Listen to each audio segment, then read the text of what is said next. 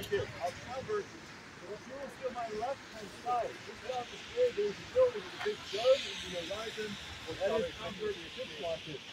Uh, it's quite a weird day because when you mostly come here throughout the day or throughout the week, there is nothing happening at this area. It's very, very quiet. If you come tomorrow morning though, from 5 o'clock until half past 9 in the morning, there's a huge open air fish market on which you can buy fish, fruit, vegetables, plants, and even live animals as well, like bunny rabbits and chickens you can purchase at the fish market at a price which almost never changes. It's always 15 euros. Now, uh, this area itself, it works on a Dutch auction model. Wedding happening over here.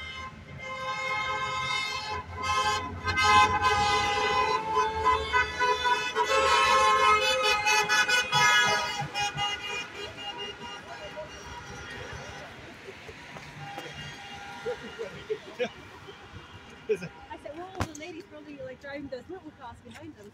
uh, were they? Yeah, the ladies, they're all men in the, in the big cars. In the They're big cars, and the ladies were in the little cars behind. Yeah. Ah, it's good. How you doing? I've never understood the rationale of getting married and then making lots of noise in the streets. I don't know. Yeah. So.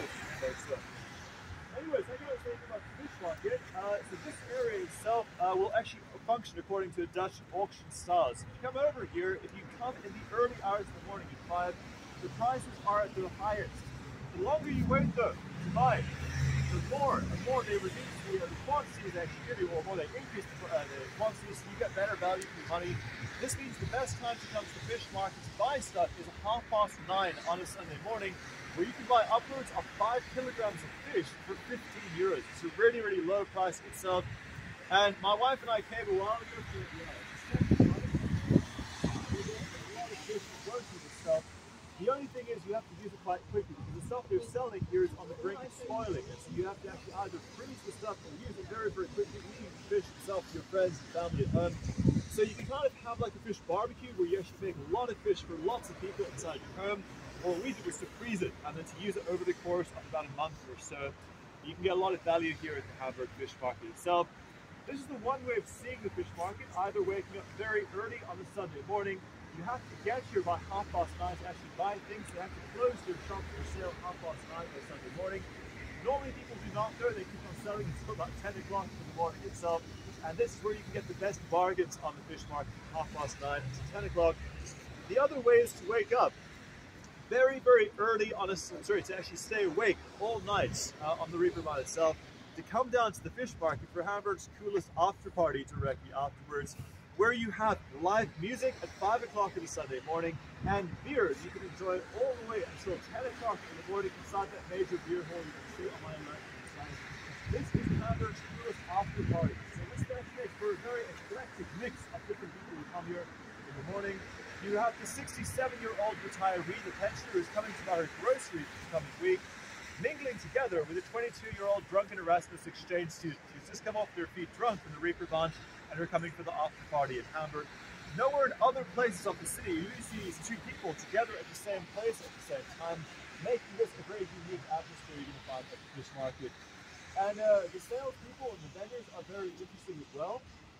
They have these things called market screamers who will literally scream their produce at you. So you've got this guy in a big minivan who's screaming at the top of his lungs, food, food, food, food. And all the while he's slapping stuff onto your glass. And the longer you wait, the more you get food from the viewers. You get really great value at that location as well. Some of them also have comedy skits they run through as well. So you've got this Dutch guy who sells plants, and he is hilarious to go and listen to. So it's like comedians who actually will make jokes with you, trying to sell as much as they can over a short space of time. It's a really cool atmosphere you can find over here. Okay, now this part of Hamburg though never actually used to belong to the city. It belonged to another country, in fact, namely Denmark. It used to have their second biggest city founded directly outside the city walls of Hamburg, which was known as Altona. And Altona was never really a liked neighbor of Hamburg due to the fact they were initially founded to compete with Hamburg's own fish market over the course of the 16th century, meaning Hamburg and Altona were always confusing with each other. And this is the reason why legend says Hamburg gave Altona the name in German Altona, This means all too close was Denmark to Hamburg, and this was the original name given on Arsenal itself. Uh, Incorporated inside of Hamburg in 1927 with the large Hamburg Initiated over the course of the rise of the Third Reich to power. That's increasing Hamburg's size and giving us one extra district, namely Altona, which is one of the seven boroughs or districts of Hamburg we currently have inside the city. Okay, now needless to say, between Hamburg on my right and Denmark on the left, we have the small hill face between the two, which was known in Hamburg as the Hamburger Berg, the Hamburg Mountains, what we called it. And Hamburg doesn't really have much in the way of mountains. If you walk around the city center, the highest point we have in the city center of Hamburg is located at Schwerswald on the Domplatz, which is 6.5 meters above sea level. So if you're taking a photo breath there, it is due to acute altitude sickness you are experiencing in Hamburg city center.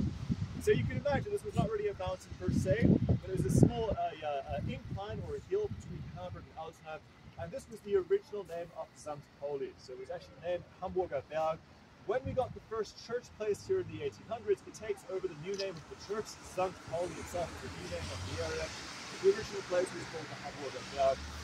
And what happened is, over the course of the 1800s, Hamburg chose to flatten out this mountain of land between the city of Altona and Hamburg to create a free shooting range against Danish invaders. Should Denmark ever choose to invade Hamburg Hamburg was pre-prepared, their cannons and their guns and rifles were aimed down this way at the Danish so they could actually mow them down